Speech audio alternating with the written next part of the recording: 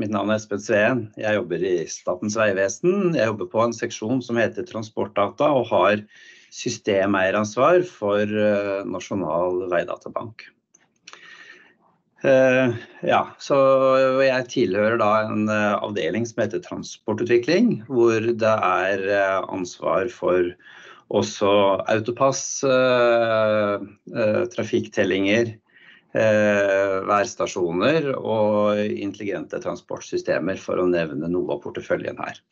Som, og igjen da, Denne avdelingen er på uh, divisjonen transport og samfunn. og Transport og samfunn er en divisjon som har et nasjonalt ansvar for alle veier i landet.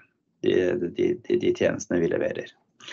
Så i, i, motsetning til drift og vedlikehold utbyggingsdivisjonen til Statens vegvesen, som kun jobber med riksvei. Jeg har tenkt i dag å innlede litt eh, med å fortelle litt om eh, virksomhetsstrategien vår i Statens vegvesen og litt om den digitale veien, bare for å på en måte eh, fortelle litt om utgangspunktet. Ja, Vi i Statens vegvesen vi har en virksomhetsstrategi. altså Toppmål med tilhørende styringsindikatorer, strategisk retning og prioriterte områder utgjør virksomhetsstrategien i Statens vegvesen. Uh, og vi skal da levere et effektivt, trygt og miljøvennlig transportsystem. Uh, opp målene så er det mer for pengene, effektiv bruk av ny teknologi, bidra til oppfyllelse av Norges klima- og miljømål, nullvisjon for drepte og hardt skadde i trafikken, og enklere reisehverdag og økt konkurranseevne for næringslivet. Så det er eh, på en måte å kalle det for, for å svare på samfunnsoppdraget til Statens vegvesen. Ja, så kan dere jo legge merke til eh, nederst her, eh, skal jeg si mer om, den strategiske retningen digital først. Som jeg skal si litt mer om. Men det er viktig det at vi i Statens vegvesen eh, og de prioriterte områdene våre, så er det jo selvfølgelig trafikksikkerhet, vi har eh, forutsigbar framkommelighet og vi har arbeid med bærekraft. Ja, så disse Toppmålene da, er da brutt ned i syv styringsindikatorer på virksomhetsnivå som viser hvor vi skal utvikle oss på tvers av etaten. Så vi skal uh, mer for pengene, altså redusere kostnader internt og effektivisere kostnader på vei. Eh, og I forhold til effektiv bruk av ny teknologi skal vi øke digitaliseringen. Eh, og under bidra til oppfyllelse av Norges klima- og miljømål, så skal vi redusere klimagassutslipp. Og nullvisjon for hardt skadde og drepte i, i, trafikken. Rett og slett redusere, redusere antall drepte og hardt skadde. Og dette med enklere reisehverdag og økt konkurranseevne for næringslivet, og så øke framkommelighet og opprettholde kundetilfredshet på et høyt nivå.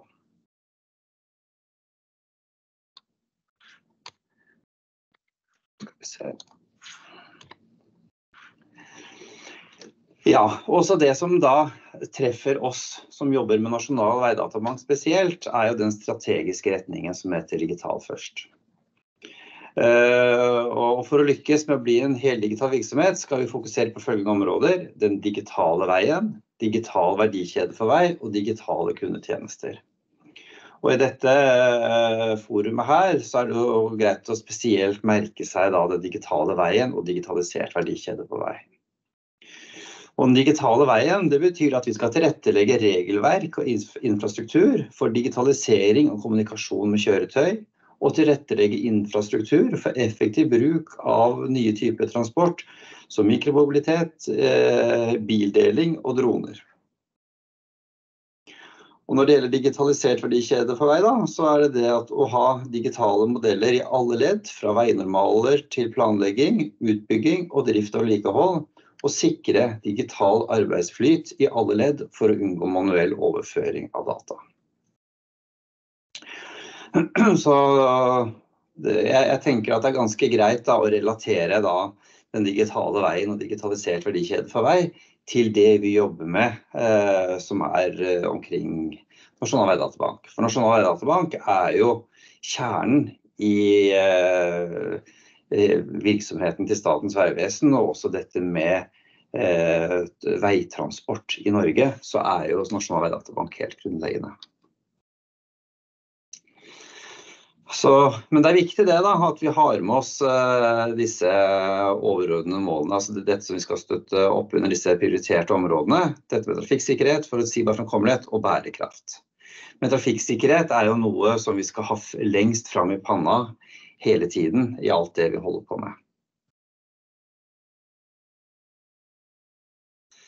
Ja, så vi skal ikke bruke så mye tid på den, da. Men eh, vi har jo denne nullvisjonen eh, om null drepte og hardt skadde i veitrafikken. Så vi skal gjøre gode prioriteringer for å sikre utviklingen av drepte og hardt skadde i samsvar med vår visjon.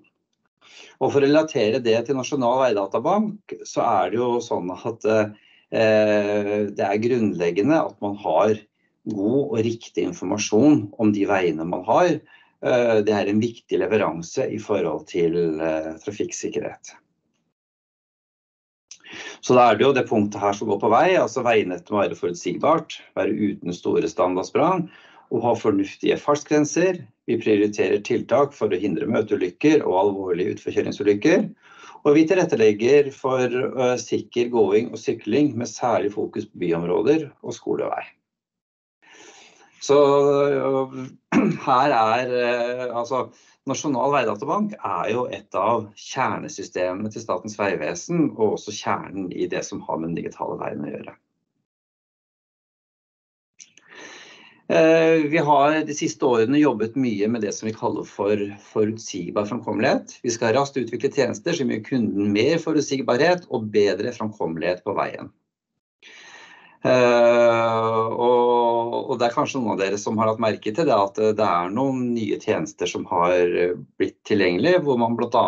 kan få uh, god trafikkinformasjon ut på en app bl.a.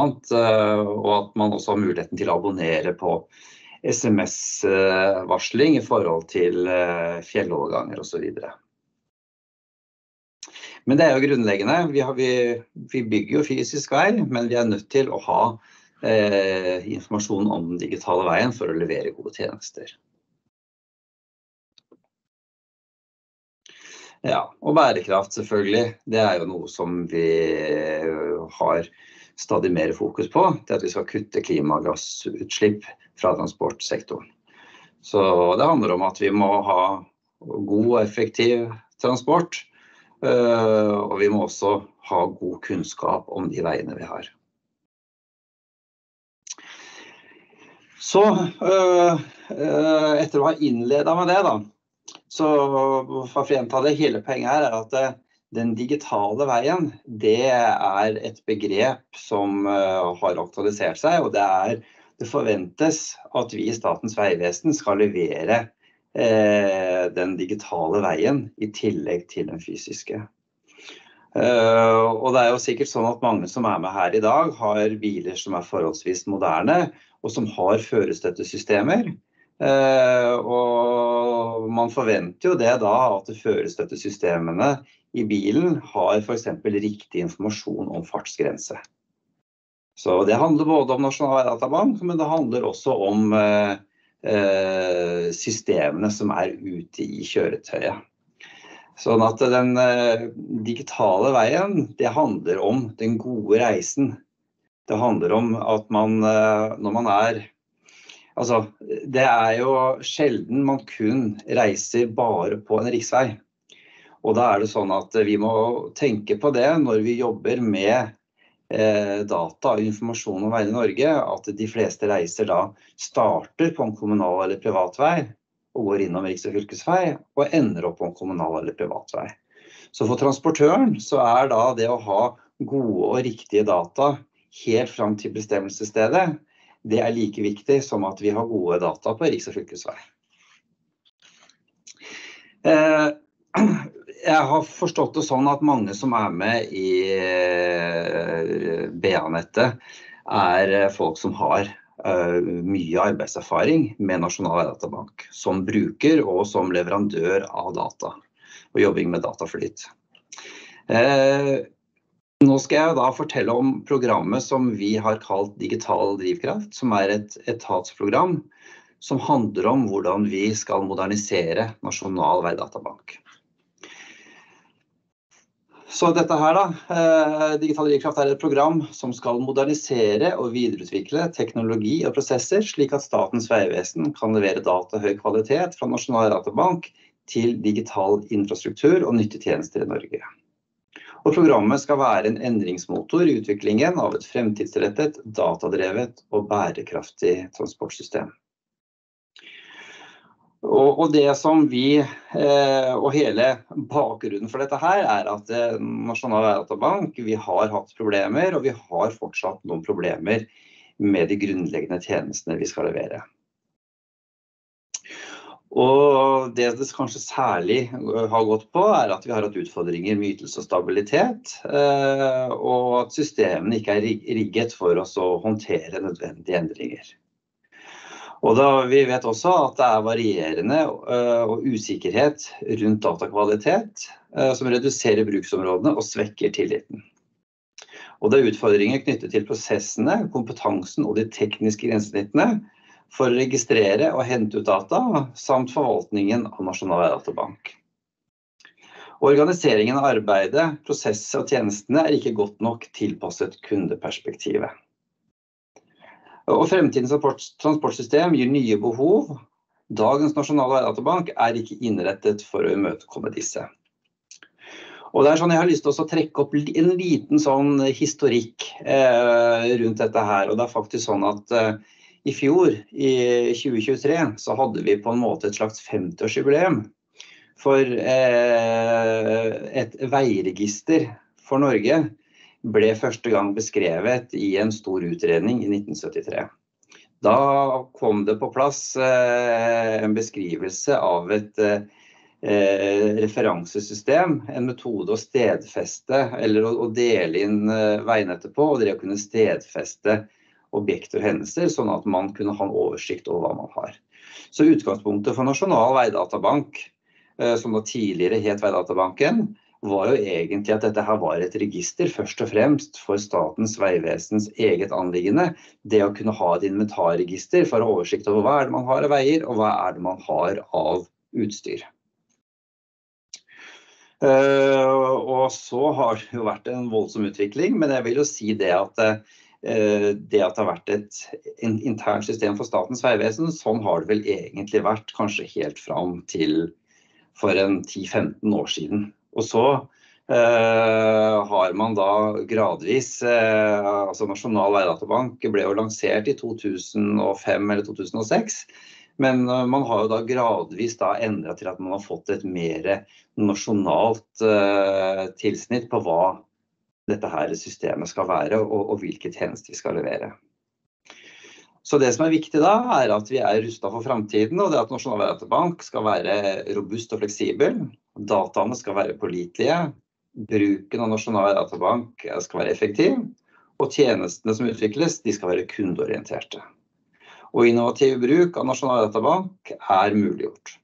For det er det vi ser nå, at det er rett og slett et kvantesprang. Altså fra å være en, kall det litt sånn intern database, så er vi der nå at eh, Nasjonal veidatabank det er en del av den digitale veien og framtidens mobilitet. Og det å kunne levere tjenester til f.eks.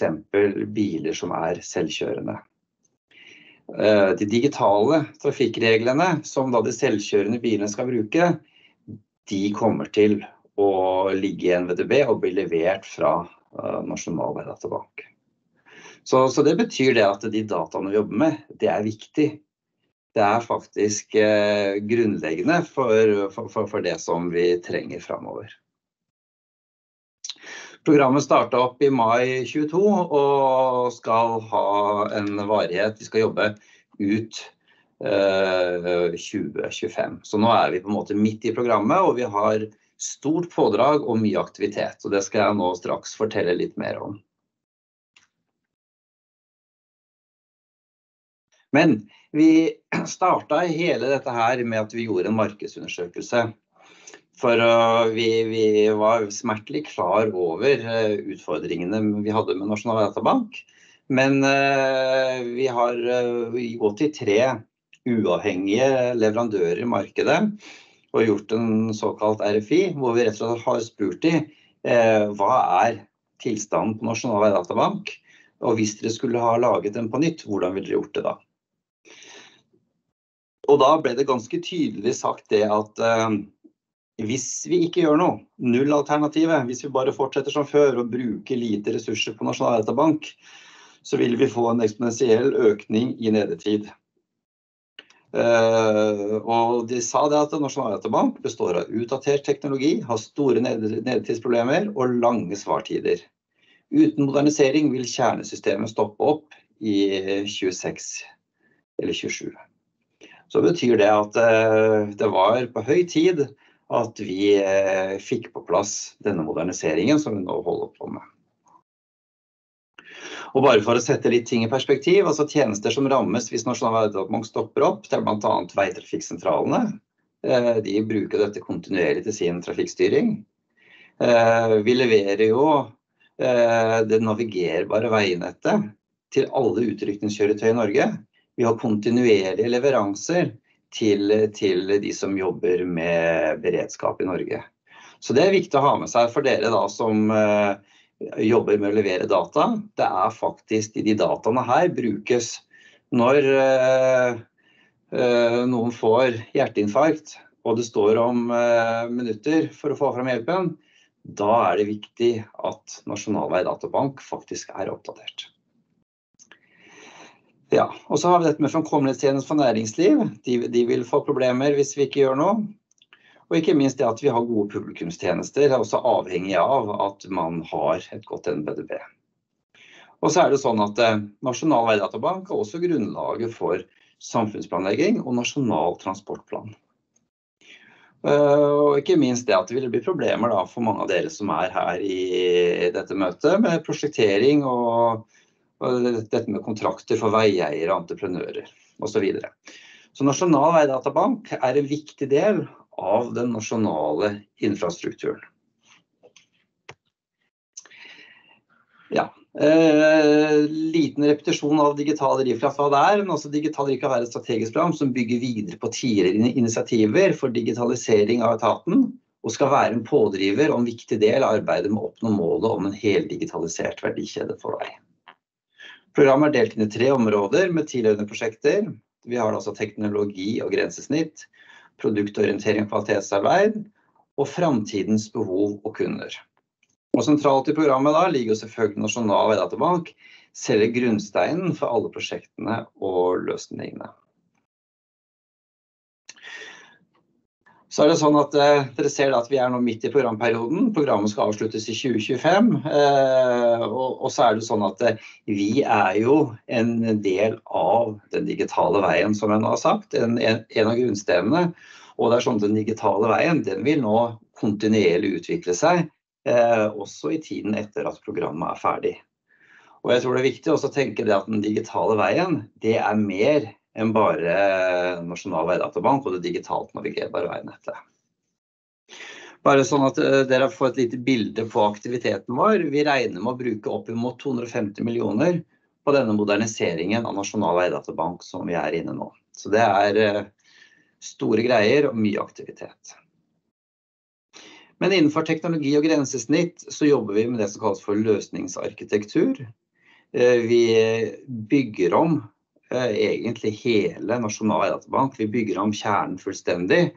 Og alt dette her skjer mens eh, systemene er i bruk, sånn at dere som eh, er brukere av Nasjonal databank, vi skal ikke oppleve noen utfordringer med at vi gjør moderniseringen. Tvert imot. Etter hvert som vi da, vi jobber jo smidig, så gradvis så implementeres det vi gjør. Sånn at man vil oppleve nå særlig i løpet av 2024 at det vil kunne komme Eh, forbedringer som gjør hele systemet mer responsivt. Vi jobber også med en verktøystrategi. Eh, og det handler litt om det, hva er det vi i Statens vegvesen skal levere av verktøy, og hva er det markedet skal levere av verktøy. Og så jobber vi da selvfølgelig med disse tekniske grensesnittene.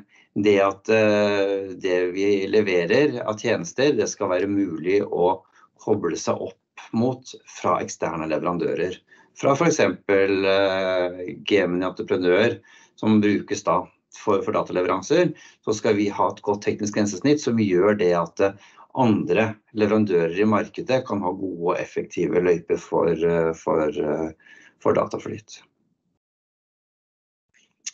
Og når det gjelder dette med produktorientering og kvalitetsarbeid, så handler det jo mye om det å ha innsikt. For det er sånn at vi kan ikke bare kaste oss over og, og, gjøre en hel masse ting uten at vi vet at vi gjør de riktige tingene.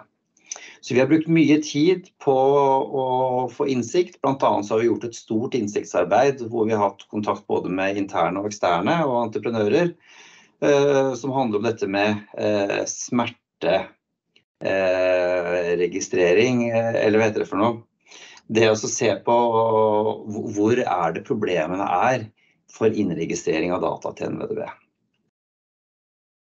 Vi jobber også med datakvalitet. Vi eh, tenker på dette med å bruke automatiske prosesser og kanskje AI for å kunne overvåke og avdekke utfordringer med kvalitet i Nasjonal Autobank.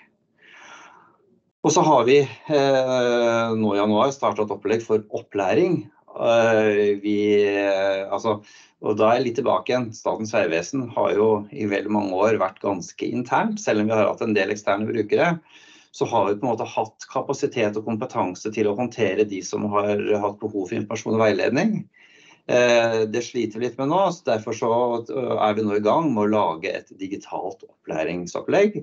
Og vi har bl.a. tanker om dette med sertifisering for de som skal Eh, legge data inn i nasjonal databank.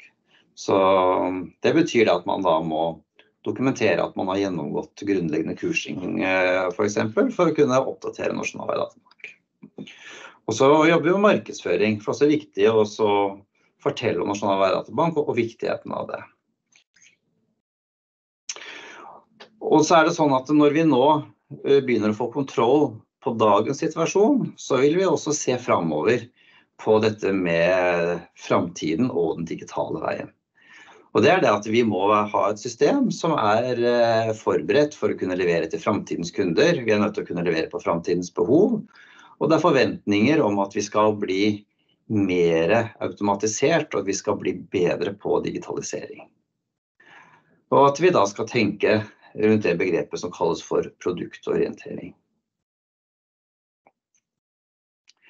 Ja, litt sånn om føring og drivere. Eh, nå er det sånn at eh, det er kanskje særlig to områder. Da. Det er dette med lover og regelverk, og det er teknologi. Og det er sånn at det kommer eh, en ny veidataforskrift. Eh, den har vært på høring eh, fram til 1.12. i fjor. Eh, nå jobber eh, noen andre i Statens vegvesen med å håndtere alle høringsinnspillene, for det har vært mange. Eh, og det forventes da at den trer i kraft i løpet av 2024. Men her skal ting behandles i departement osv., så videre, sånn at det er vanskelig å si eksakt der. Men i den forskriften så legges det vekt på å kravstille et samlet offentlig veinett Uh, det legges også opp til at det er en samarbeidsplikt. Det betyr det at eh, vi i Statens vegvesen har, og, og f.eks. fylkeskommunene da, at det er en plikt at vi skal samarbeide om det som har med eh, dataflyt å gjøre. Ikke bare et nasjonal databank, men bl.a. det. Eh, og det legges vekt på dette med teknologinøytralitet for innovasjon og utvikling. At vi skal løfte datakvaliteten og utvikling i tråd med internasjonale standarder og harmoniseringer, og utarbeide forslag til opplæringstiltak. Og ikke minst det å være god på å tilgjengeliggjøre data. Og så kommer det også et revidert ITS-direktiv, eh, som da omfatter kommunikasjon mellom kjøretøyinfrastruktur. øke sikkerhet og automatisert mobilitet, og sanntidsinformasjonstjenester, f.eks. ulykker eller hindringer på veien. Ja, så Vi har bl.a. som mål å bidra til målene om, uh, om, utslippskutt, digitalisering og større robusthet i transportinfrastrukturen. Og så er det også viktig, Vi har noe som heter geodataloven. Den har eksistert en god stund, men altså loven pålegger offentlige myndigheter å dele geodata. Så bl.a. Kartverket og Statens vegvesen vi leverer da veinett til felles kartbase. Så det betyr at det veinettet som legges inn, informasjonen som legges inn i VDB, er en del av de detaljerte grunnkartene for landet. Så det er viktig det da, at man må, må tenke det at uh, selv om man kanskje da er en entreprenør og jobber kanskje med en liten bit av det totale veinettet, så er faktisk de leveransene er svært viktig for at vi skal kunne ivareta helheten.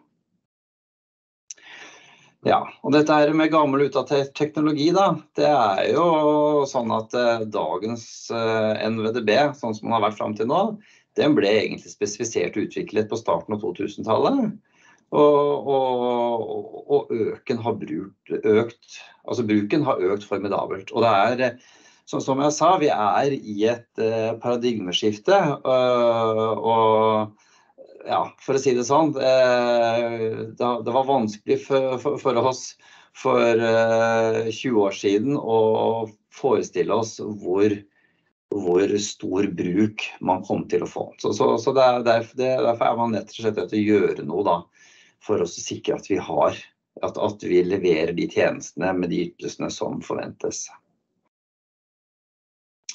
Ja, også dette med system, systemorganisering av arbeidet rundt Autobank det er heller ikke tilpasset kundeperspektivet. For det er også veldig viktig å forstå at Nasjonal veidatabank er ikke bare noe vi har internt i Statens vegvesen, men vi har faktisk brukere. Og vi opplever da nå at eh, bilen er én av kundene. Det at kjøretøyene får data rett ut i bilen, eh, det er jo noe som Det er ikke så mange år siden det var litt science fiction å tenke seg det. Og ikke minst det at behovene kommer til å endre seg. Det er helt sikkert at vi kommer til å ha en rivende utvikling, og vi må hele tiden passe på at vi har eh, tekniske løsninger som eh, kan håndtere det. Da tenkte jeg å prøve å forklare litt. Eh, og dette her er ting som fortsatt er under arbeid, så dette her er ikke ting som er 100 spikra, men dette er det vi jobber med nå for tiden. Og det er sånn eh, at vi i eh, Nasjonal veidatabank så har vi på en måte Eller der har vi et basisnett, eller et veinett, altså Europa, riks- og fylkesvei, kommunale og private og skogsveier, som er en grunnleggende nettverksstruktur. Altså vei og kryss for alle typer kjørende, gående og syklende. Eh, og det er veisystem, strekning, kryssystem og sideanlegg det er en del av dette basisnettet. Og ut ifra det så har vi da det digitalt navigerbare veinettet, som igjen er for det helhetlige veinettet, som er grunnlag for ruteplanlegging og navigasjon. Og Her ligger det også en del reguleringer inne, eller en del kaller kanskje restriksjoner, som sier noe om, om, hvordan man kan bruke veinettet. Altså dette her, Om det er bru, trafikkregulering, høydebegrensning, fartsgrense, bruksklasse osv. Vi har også en klassifisering eh, som eh, dette med funksjonell veiklasse, altså som sier noe om ja, det egnetheten av, av, av, veien. Altså man ønsker jo da dette funksjonelle klasse å vise at uh, en uh, europavei er å foretrekke framfor en kommunal kommunalvei. Så, så, der har vi en inndeling. Og det at vi har også klassifisering i både gate og turistvei. Og i forhold til digitalt navigerbare veinettet, dette med beredskap, altså om, omkjøringsrute, værstasjon, værutsatt vei, veistengninger osv. Og også det at vi har informasjon om altså trafikanttilbud som døgnhvileplass og ferjesamband. Og vi har trafikkregistrering. Det handler om altså trafikkmengde, altså registrering av trafikken på, på, på, på veinettet. Og vi har kamerastasjoner osv. Og så har vi det som vi kaller for nasjonale fagdata. Og nasjonale fagdata det, det er jo rett og slett data av nasjonal interesse som er stedfestet på dette, basisnettet. Uh, og det er typiske veiobjekter som skiltrekk, veistikkrenne, beredskap som skredpunkt, skredsikring, kolonnestrekning, uh, trafikanttilbud, rasteplass, lekeapparat, toalettanlegg, vekt, sykkelparkering og tunnel med ventilasjon, nødstasjon, nødutgang og samband. Og I tillegg så har vi i dette informasjonslaget her dette med tilstandsindikator, universell utformet ID kommer vi til å jobbe med, og trafikkulykke og viltfare. Så som sagt, dette er disse nasjonale dataene, og det er vel dette som vi kan kalle for nasjonal veidatabank. Og så har vi da det som vi kaller for veiforvalters egne data. Det er fagdata som er av primær interesse for den enkelte veiforvalter. Og det kan da være sånne ting som miljø og grønt, altså type flora grøntanlegg, veikantutstyr som kunst, utsmykking, belysning, tunnelutstyr videre. Men hvis vi da går over til å se på den samme lagmodellen, men mer rundt dette som går mot systemlandskap, så har vi da en nasjonal veidatabank kjernen som inneholder en database med bl.a. nasjonale data med basisnettet, navigerbart veinett for kjørende, gående og syklende, nasjonale fagdata stedfestet på basisnettet.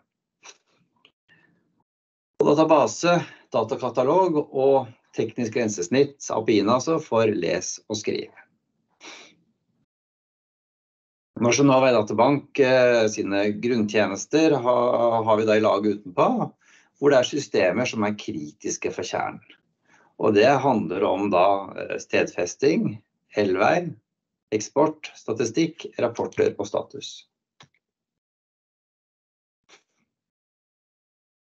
Og dette her er de mest sentrale delene av nasjonal veidatabank. Og da har vi altså en kjerne med grunnleggende og enkle applikasjoner for veinett og stedfestet informasjon, og eventuelt analyse av informasjon. Og her har vi det som heter datafangst, veikart, fiks veidata, vis veiinfo og kontoutskrift. Og som jeg sa, dette her er under arbeid, og en av de tankene vi jobber med nå er dette med vi kaller for se på muligheten for å ha et verktøy som kalles for datafangstbasis og veikartbasis. Og det har noe med de rammene vi har, at vi må i Statens vegvesen med ansvar for nasjonal veidatabank fokusere på de viktigste verktøyene og de viktigste funksjonene. Så men det er ikke ferdig definert enda, akkurat hva vi legger i det begrepet basis. Men det er en arbeidsmodell som vi ser nærmere på nå. Så da disse lagene her er vel det som vi kan kalle for nasjonal veidatabank, altså de mest sentrale tjenestene. Men så har vi da en rekke fagsystemer som hører til sammen med nasjonal veidatabank.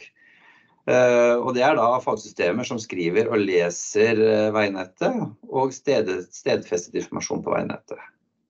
Vi snakker her da om digitale veilister, Brutus, altså bruregisteret, Veinett pluss, Trygg tunnel, trafikkdata, veivær og HBT, altså system for veitrafikksentralene og dette med arbeidsvarsling.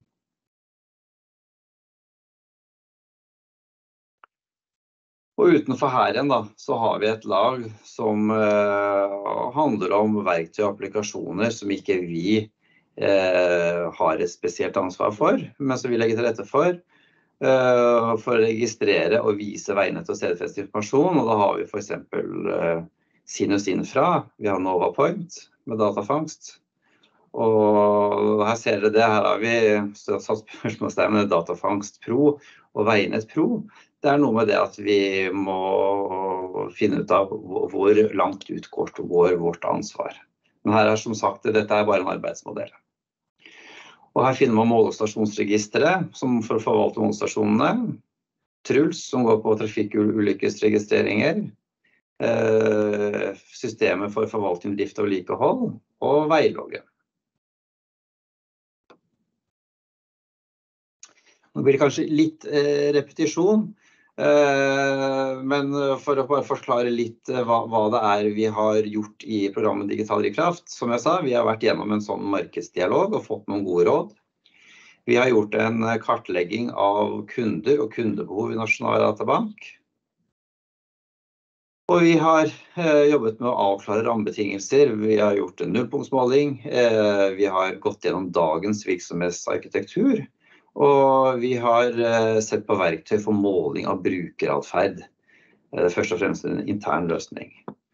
Og så har vi videreutviklet tjenesten kontoutskrift. Eh, Pga. et budsjettkutt i fjor så er den utviklingen stoppet. Men det er en versjon 1.0 der som er operativ, men den er ikke ferdig. Den har behov for mer utvikling.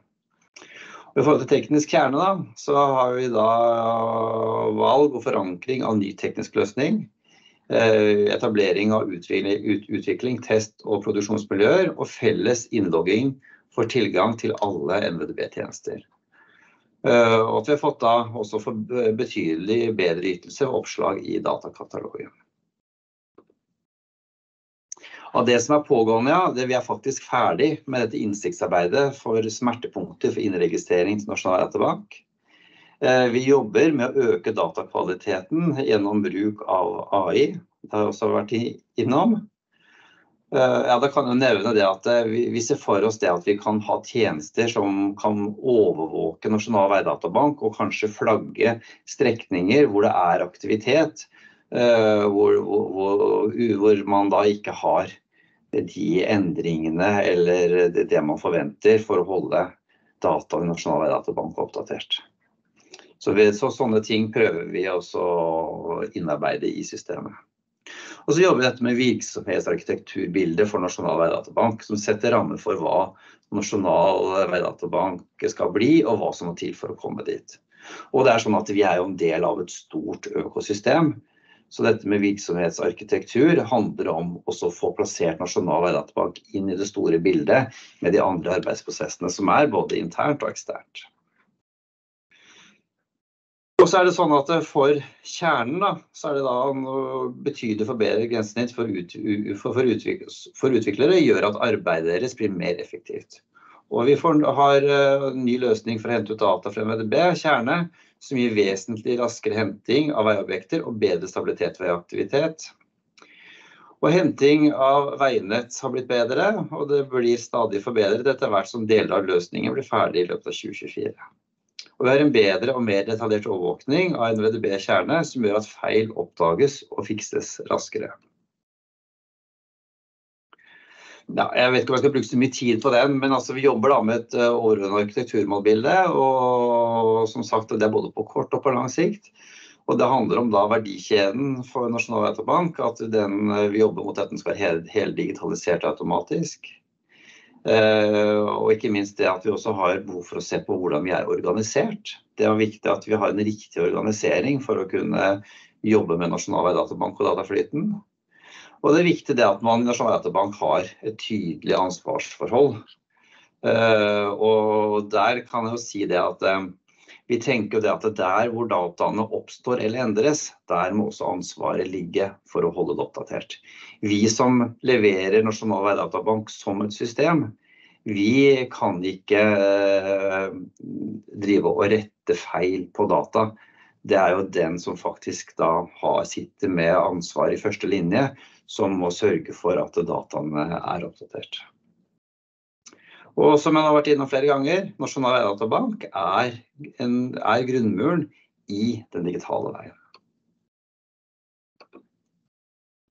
Så kommer vi litt inn på det som er planlagt og det som vi nå er i gang med. Eh, det kommer snart en eh, video eller en film om, som går på markedsføring og veiledning innenfor Nasjonal veidatabank. Eh, vi har sagt, vi er i gang nå med å utrede og få på plass et opplegg for opplæring. Eh, vi har også på blokka vår eh, muligheten for å dra i gang en POC, Proof of Concept, for automatisert dataflyt fra BIM til NVDB. Og det at vi også har planer om å videreutvikle den tjenesten kontoutskrift som jeg nevnte. Og det at vi da også får data ut, vi skal ha bedre samhandling med tredjepartsløsninger. Ja, og dette med organiseringen av arbeidet med Nasjonal databank er noe som vi jobber med kontinuerlig. Så vi, vi, vi, vi må nok være så ærlige det at, eh, å si at eh, regionreformen, den omorganiseringen som kom da, den har vært krevende. Eh, men nå, etter å ha vært i en bølgedal, så er vi nå på full fart opp og ser det at nå begynner brikkene å falle på plass. Og det at vi hele tiden da er nødt til å, å forstå fremtidens kunde og nye kundebehov. Ja, så for teknisk kerne der har jeg vel en annen slide tror jeg, som forklarer det litt bedre. Ja, men eh, litt nøkkelfunn innsiktsarbeidet med smertepunkter, vinregistrering. Så er det konkludert med at alt finnes, men fungerer bare delvis. Vi har et kvalitetssystem, vi har instrukser, håndbøker, ansvarsmatrise som legger til rette for god praksis, men det svikter gjennomføringen. Og vi i Vegvesenet har et helhetlig ansvar for Nasjonal veidatabank. Eh, og for at det har blitt fragmentert, og man har ikke klart å etablere en, et godt og systematisk arbeid på tvers av divisjoner og seksjoner. Og enkelte strever med å løse de oppgavene de er pålagt. Så dette gjelder jo ikke bare internt, men det gjelder også eksternt. Og så er det faktisk noe som eh, i hvert fall jeg som sitter på systemansvar for Nasjonal databank, og det er litt krise, og det er snakkebobla dere ser nederst til høyre der. Altså, vi har byggeledere som ikke får inn data, og det går helt fint. Det er ingen konsekvenser. Og sånn kan det ikke være. Øh, og derfor er jeg litt opptatt av at vi må flinke, være flinke til å få fram budskapet om at øh, den enkelte byggeleder som er ansvarlig for å få dataene inn, må faktisk forstå det at de dataene som er inne i Nasjonal databank, eh, kanskje han har selv får bruk for det ut til sin eh, nye, moderne bil med førerstøttesystem.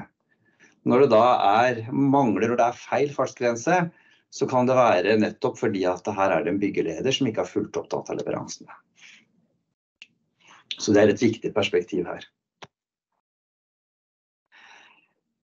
Ja, øh, og så er det sånn Dette her går litt på liksom avbøtende tiltak. Altså, vi er, har et arbeid med å erstatte datafangst 1.0. Det er i gang. Eh, ny versjon av løsningen vil ikke være klar før sommeren 2024. Og nettopp fordi at vi opplever utfordringer med dagens datafangstløsning, så gjør vi nå noen avbøtende tiltak hvor vi da flytter løsningen Altså Vi går over fra en server med kapasitetsutfordringer til skydrift der vi kan skalere dynamisk. Og effekten av forbedringen forventes umiddelbart på nyåret 2024. Der er vi nå. Uh, og, og, da er det faktisk sånn at uh, det siste som gjenstår nå, er å få på plass en databehandleravtale med Amazon for å kunne sette den løsningen i drift. Og utviklerne som jobbet med dette, sier at den nye datafangstløsningen skal være mye mer responsiv. Så vi håper det at uh, dere som nå er brukere av datafangst, vil oppleve at uh, arbeidshverdagen blir enklere uh, nå i den mellomperioden fram til datafangst 2.0 kommer på plass. Og I tillegg internt så styrker vi bemanningen både på min enhet så styrker vi det som går på med å, å, jobbe med de smidige teamene, at vi har mer bemanning her. Og I tillegg så er det sånn at eh, eh geodataseksjonene med Geodata 3 i spissen, altså de er på samme avdeling, det er de som følger opp mye av det praktiske arbeidet rundt dataleveranser. De har fått på plass en rolle som for fagansvarlig og har, eh, er i ferd med å ansette en person som blir fagansvarlig for data inn til NBDB. Så Det betyr det at vi får nå mye bedre kapasitet i Statens vegvesen til å følge opp dere som er eksterne, eh, også interne for så vidt, da, men spesielt eksterne, sånn at dere får informasjon og veiledning, og at dere får eh, bedre tjenester for å levere data inn. Og så er det sånn at vi eh, jobber kontinuerlig med leverandører i markedet Eh, for å få supplerende verktøy utover det vi i Statens vegvesen kan levere. Eh, vi eh, ønsker veldig gjerne at leverandører som leverer GIS-løsninger f.eks., eller andre løsninger innenfor prosjektering, at de skal bruke våre tekniske grensesnitt og levere gode løsninger og vi tror at mye av nøkkelen uh, og, uh, og, en viktig suksessfaktor for å ha gode data i NVDB, er at man kan jobbe i verktøy som man allerede kjenner. Sånn at når man jobber med planlegging og prosjektering, så er det viktig for oss det å kunne legge til rette for at disse verktøyene kan kommunisere direkte med Nasjonal veidatabank, sånn at vi får en enklere dataflyt. Så igjen, det er litt sånn tilbake igjen til det som jeg hadde på en tidligere slide her, som går på at vi skal ha en mer automatisert og digitalisert dataflyt for, for data, eller for, for datainntjening Ja, vi, vi, har jo også i forbindelse med den der nullpunktsmålingen og det jeg nevnte i stad. Altså, hva betyr dette arbeidet som vi gjør? Og det betyr ganske mye. Og vi ser det at uh, i effektivisering så har våre grå overslag vist at det vil være mulig i bransjen å effektivisere for 145 millioner per år. Og at det er så mye som anslagsvis 235 000 timer som blir frigjort ved at man får bedre og mer effektive systemer. Så det er et kjempepotensial her, og dette har vi stor tro på. Og ikke minst det at når ting blir mer effektivt og det blir enklere å jobbe, så vil man jo da få bedre data, bedre beslutningsgrunnlag. Og det er, vil være en, muliggjører for nyttetjenester. Ja, så avslutningsvis så vil jeg da passe på å nevne at vi har eh, en, en eh, side på internett, nvdb.no, der er det mulig til å følge med på f.eks. status og driftsmeldinger for Nasjonal veidatabank. Her ligger det annen nyttig informasjon også, bl.a. f.eks. hvis du skal bruke våre tekniske grensesnitt, så finner du informasjon her. Og også ønsker du å følge med på hva som skjer i programmet Digital drivkraft, så ligger det også en egen fane her hvor man kan gå inn. Og det er sånn at vi ca. en eh, gang i måneden så gjennomfører vi noe vi kaller for en demodag.